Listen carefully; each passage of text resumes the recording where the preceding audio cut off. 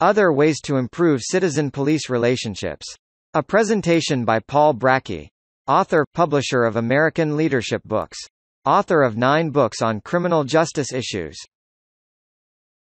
In a previous video on improving citizen-police relationships, I discussed the problem of citizen police killings, the problem of racial tension, a lack of understanding about police use of force guidelines, and the role of the media in increasing citizen police tensions. Now I want to discuss some other key citizen police issues. These four key issues are, complaints of misconduct by the police, stop and identify laws, police brutality, Breakdown of law and order, protests and riots. I'll briefly describe them and provide some suggested solutions for each issue.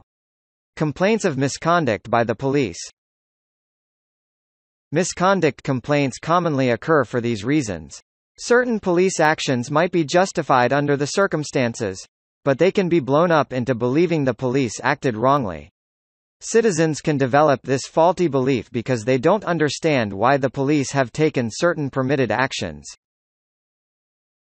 It is important to look critically at the nature of the encounter to determine who is really at fault.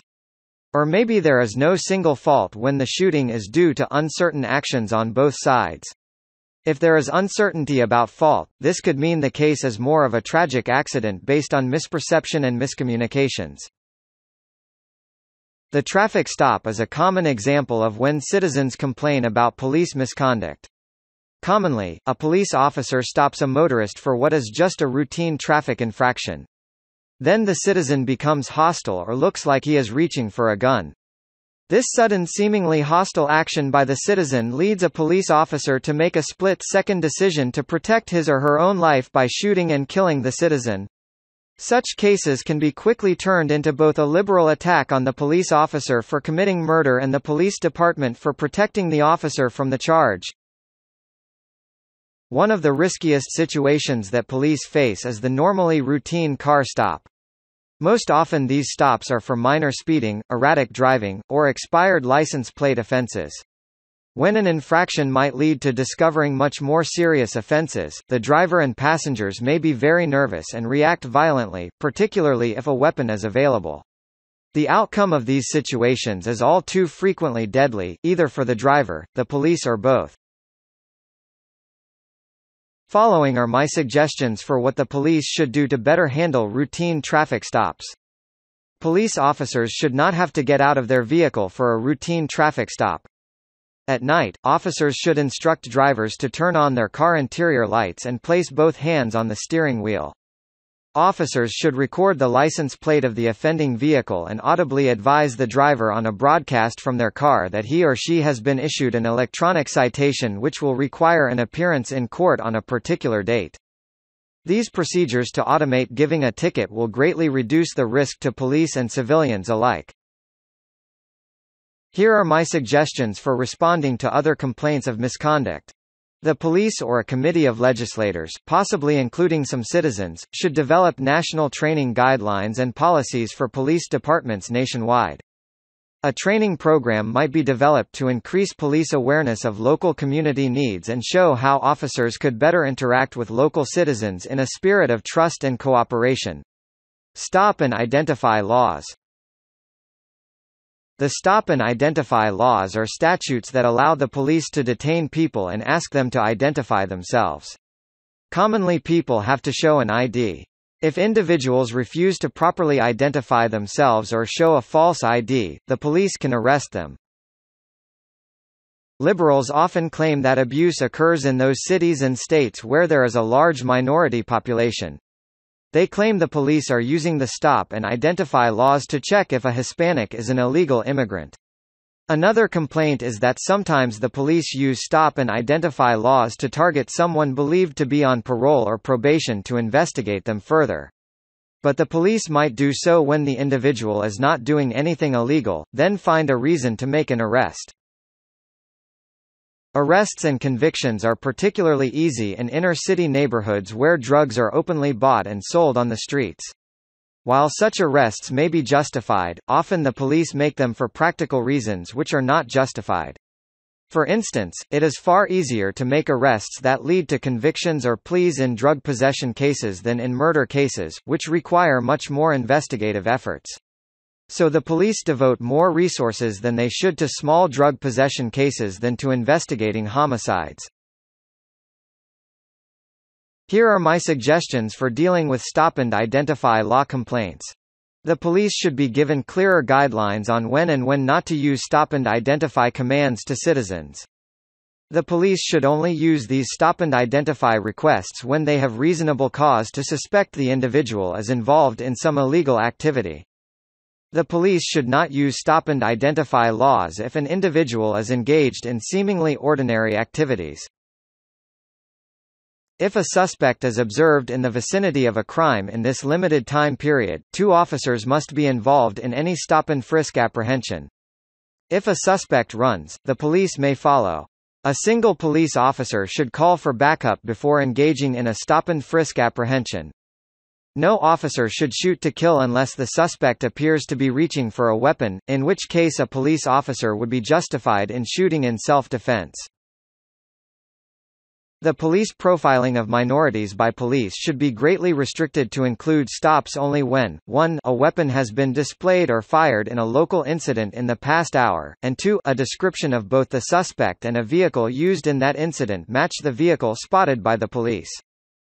Profiling minorities who are on foot in the close vicinity of a crime should be restricted to one hour following the crime. This will limit any targeting of suspects to those who can realistically be close enough to have committed the crime. Police brutality Both liberals and some police officials have questioned whether the police have been too brutal in some situations. Normally, the police should follow guidelines on how much force to use in making an arrest or restraining a suspect. The usual policy requires the police to use only as much force as necessary to effect an arrest or control a suspect. Here are my suggestions for dealing with accusations of police brutality. It is important to get the facts by interviewing the accuser or accusers and any police officers accused to get both sides of the story.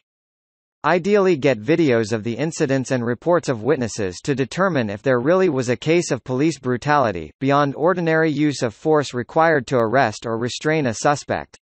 If the charge is wrong, advise the accuser why this is the case.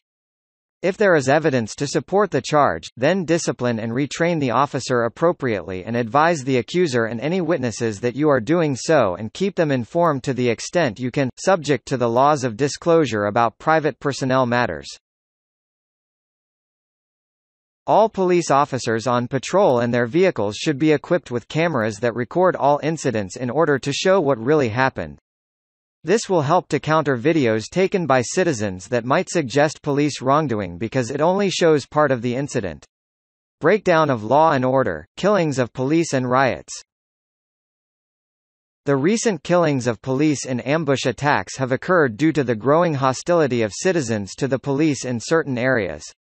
These ambush attacks have occurred most notably in the inner cities.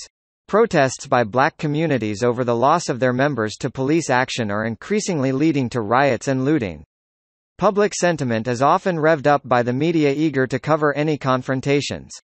Such stories by the media make such confrontations even more likely to occur.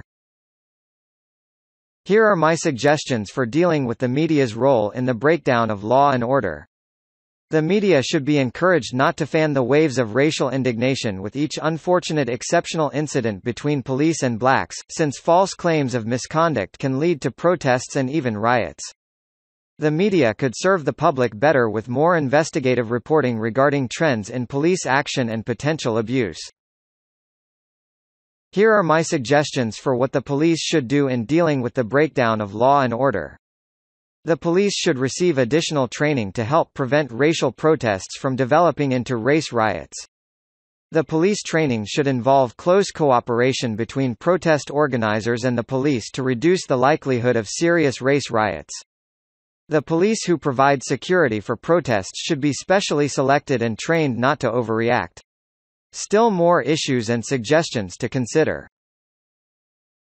We need more protections for our police because they are our first line of defense in combating crime. The police have been unfairly demonized by many liberals and the media in America, though most police officers perform their duties selflessly and with devotion. As tensions grow between the police and black urban communities, they need additional safeguards, and so do the citizens they apprehend. The following should be done to reduce the hazards of a police-citizen confrontation, both to save lives and reduce costs to the criminal justice system. Require officers to record their contacts with citizens, including when they fire their guns. The police should record their contacts, so they have evidence they can use in case their response to citizens or reason for shooting are questioned by citizens. The use of deadly force guidelines and the training for applying them need to be overhauled and standardized. The revised deadly force guidelines should be applied in situations which present a clear and present danger for police officers or civilians who are nearby. Use of force guidelines and training should take into consideration local variations. If training isn't available for small rural police forces, their officers should be required to receive such training at the nearest larger police force facility. Community policing can work both in low-income minority communities and middle and upper-income communities. The key to community policing working is by adapting it to the different types of crime problems in each community. Some different community policing approaches that work are, having crime prevention meetings to provide advice on what to do, from protecting against inner-city gang violence to protecting one's home or car in the suburbs against a burglary, giving talks at schools and community centers, helping citizens create neighborhood watch groups and speaking to these groups, increasing patrol on foot, bicycle, or scooter rather than driving around in a car, partnering with other organizations, such as non-profit service providers, private businesses, and the media, decentralizing police decision-making, so lower-ranking officers have more discretion. Close to 100% of larger agencies claim to have adopted community policing, according to recent research. The growing use of technology by police forces around the nation needs to be combined with more direct citizen-police contact. This technology can help to increase police effectiveness in many ways, which include, the police using cameras to record police activities, more quickly pinpointing the location of a crime. Since technology can reduce direct citizen police contact, the police need to supplement it by proactively reaching out to increase one-on-one -on -one contact with members of the community. One way the police can increase citizen police contact is by having crime prevention meetings. Another way to increase citizen police contact is dropping in on local businesses to see how things are going and ask for suggestions on dealing with crime in the area. Under free speech laws, citizens have the ability to film and share information about police actions.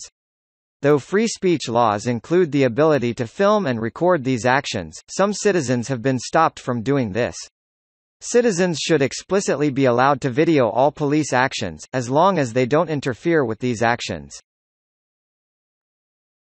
One program that works well in many departments is offering a Citizen Police Academy CPA to help improve community relationships. The CPA does this by helping participants better understand the procedures, responsibilities, demands, and laws officers face. This approach helps to increase the community's empathy and sympathy for law enforcement officers. It helps to humanize law enforcement officers so citizens get to know the actual person behind the badge. These academies cover these major topics, the department's organization and ethics, an overview of the legal system, procedures on the use of force, firearms training, traffic, DWI enforcement, forensics, recruiting, jail tours, ride-alongs.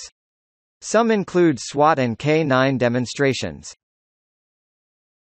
These programs can be adapted to the needs of citizens in each area. What is critical for success is encouraging increased personal relationships between the police and members of the community. The program can help prevent crime and protect the community. The police shouldn't just respond after a crime has been committed. To contact us. American Leadership Books.